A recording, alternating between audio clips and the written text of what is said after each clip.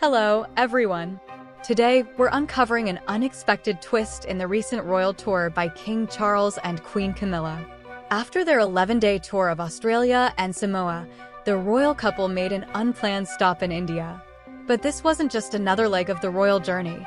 It was a private visit that the British press didn't initially know about. Buckingham Palace had to clarify the purpose of the trip, shedding light on a little-known royal rule about combining private getaways with official duties. If you're excited for more royal insights, don't forget to like, subscribe, and share your thoughts in the comments below. What do you think of this unusual detour by King Charles and Queen Camilla? As King Charles and Queen Camilla wrapped up their official tour in Australia and Samoa, journalists accompanying them believed the next stop would be home in the UK.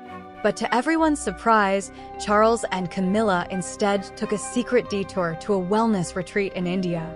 This stop wasn't on the public schedule, and it wasn't until the Daily Beast revealed the location that Buckingham Palace confirmed the royal couple's visit. The decision to visit India privately broke a long-standing royal rule, one that typically restricts royals from combining personal trips with official work engagements. According to reports, the three-day spa retreat was intended for relaxation and rejuvenation, giving the king a short break in his hectic schedule. This visit marked a rare departure from tradition, especially as it was kept from the British press initially. The spa, located in Bangalore, is known for its alternative therapies, founded by Dr. Isaac Mathai, who provides a range of holistic treatments. According to reports, Charles is no stranger to the spa. He's a frequent visitor and a strong advocate for alternative medicine. This retreat has become a safe space for him to unwind and focus on wellness. One of Charles's friends shared with the Daily Beast that he has always taken a holistic approach to health, and it has helped him maintain his well-being over the years.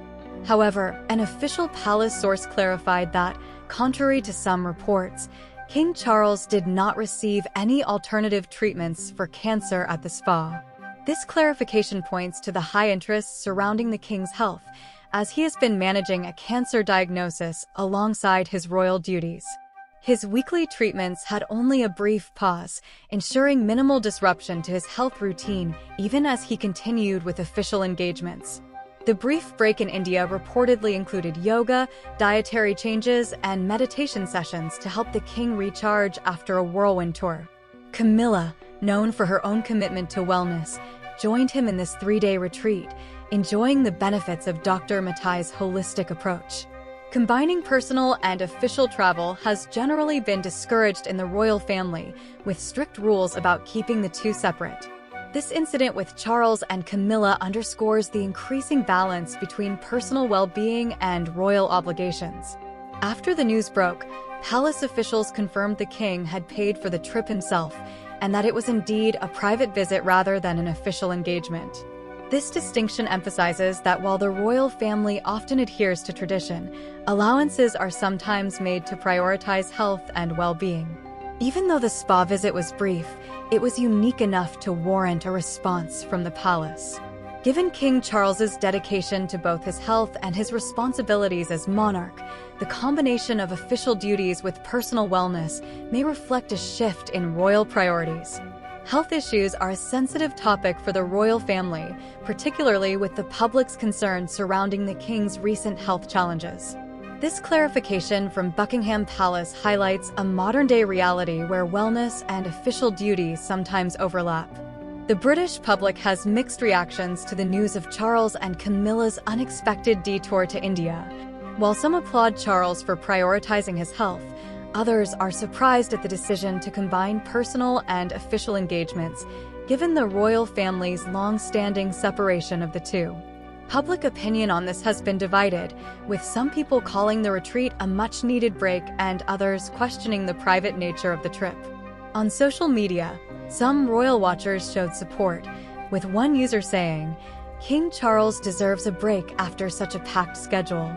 Health comes first, Another, however, expressed a more critical perspective. Royals have traditions for a reason. Mixing private trips with official ones breaks trust. These differing opinions highlight the balancing act the royal family must navigate in modern times. In an era where public figures are increasingly encouraged to focus on well-being, many supporters believe that the king should have the freedom to prioritize his health, even if it means making adjustments to the traditional royal routine. This discussion sheds light on the changing attitudes towards mental and physical health in public life, with many people valuing transparency and self-care as essential aspects of leadership. Following this brief wellness retreat, King Charles and Queen Camilla are expected to continue their royal duties upon returning to the UK. Their visit to Australia and Samoa marked an important diplomatic engagement, strengthening ties and underscoring the monarchy's ongoing relevance in the Commonwealth. This wellness break highlights a royal approach that might be evolving to balance personal care with royal obligations more fluidly than ever before. Charles's commitment to maintaining his health through holistic practices could be seen as a signal to the public that he is dedicated to his role for the long term. Despite some criticism, his choice to prioritize wellness could set a precedent for future royals, especially as the demands of modern life continue to place stress on high-profile figures. By taking this step, Charles has shown a willingness to adapt royal tradition in a way that fits the needs of today's world. This detour to India may mark a gradual shift in how royals approach wellness, balancing personal well-being with the demands of public life.